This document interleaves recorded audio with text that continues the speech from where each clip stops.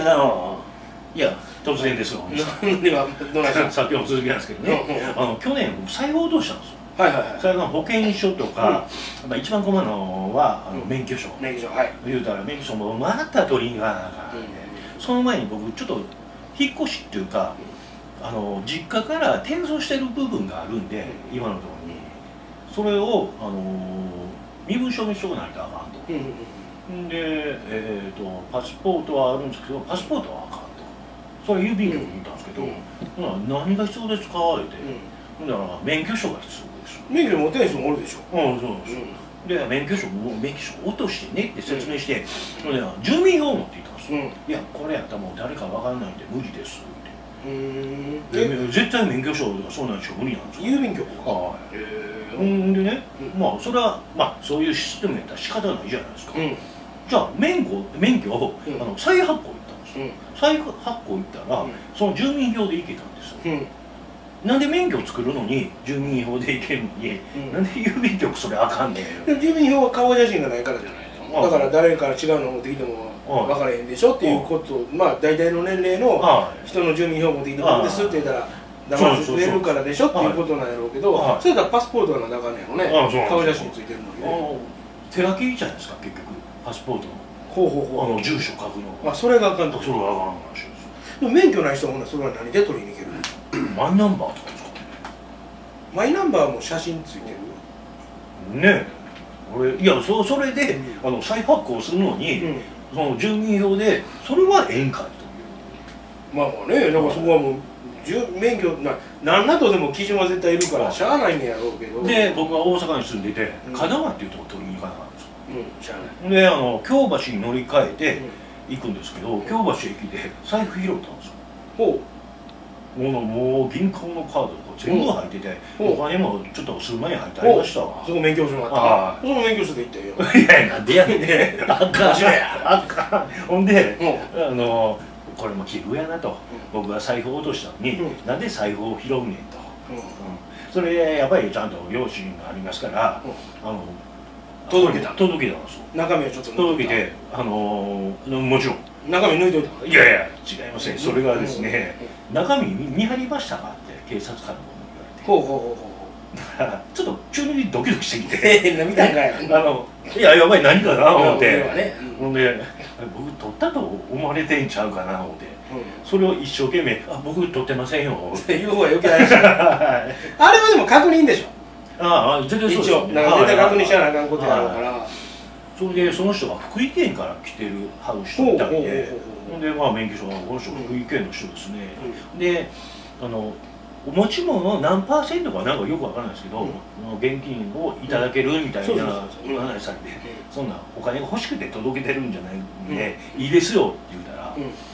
なんか余計怪しく思われていやたそれはいやそれはいやそれは自分にした心もうもうそうですか？それは下心があったかからねひょっとしたら取ったのかっていう考えがあったからなんいやいやそんなんないそんなんないです警察官はそれはもう一応業務としてかなあかんことを聞いてるだけやから。ほんでね日本っていうのは財布が戻ってくるうん。率っていうのは世間あのそう。世界で比べてとんでもないらしいんですよ。う。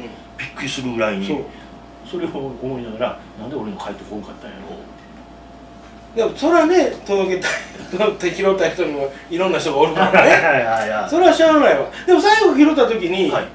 ちょっと中身持ったのかなって思ったりとか思っはい取ったりもろたりとかしたことはない？いやいやありますよ。あるやんか。いや人やから絶対あるんちゃいます？あるやんただ僕らほらお兄さんもそうですけど教養があるから。あんのうん教養があるからちゃんと届けますやんある。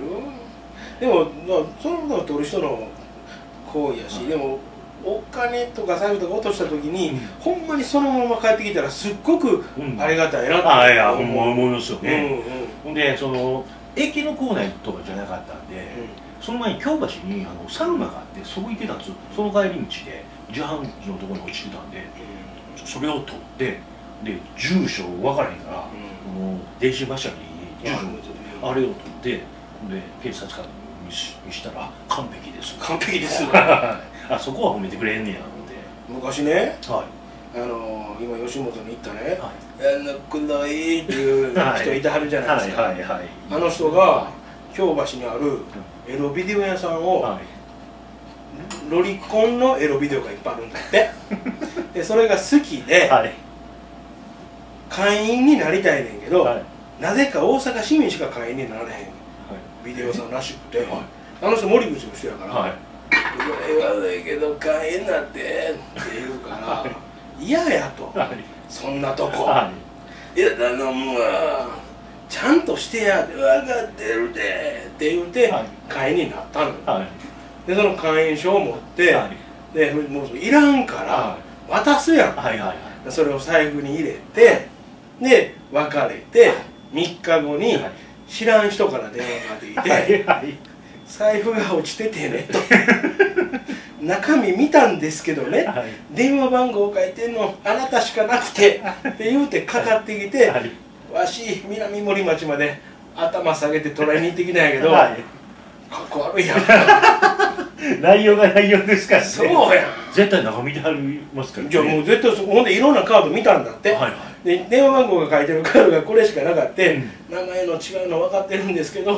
これしか番号書いてるのがなかったんって電話かかってんやけど、はいええ加減にせえと思えへんそれ さすがですねあの人は。そやろ。絶対落としたらあかんもんじゃないですか。そやろ。だからちゃんとせえ言うたやろ。せめてあの行く時にその挟んでほしいですね。まあそれも忘れるんちゃう？行く時に挟むのでもそれがしゃあないんちゃう？持ち歩いてかんと。しゃあないじゃあもうあの人やから。ああすごいなあの人。せやねんは腹立つわ。その発想がすごいですね。人に買いにそんだけ借りたかったんちゃうかなよっぽどですね。ロリコンビデオうわー。好きやもん大好きそうですうんね、好きやもん知らないわ。だからね一回ねはい。あのー知り合いの家の、はい。ほんまにあのーもう昔のビデオ。はい。の時に段ボール20箱ぐらいもろて。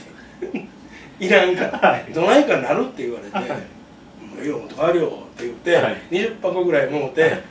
ええのあるで何々ビデオいるいる言うから全部持っていったって怒ってた。いらんわこんなに。いでも多分らんわこんなに。って言うでも多分全部見てそう見てる見てる。そんな人がおったと。はい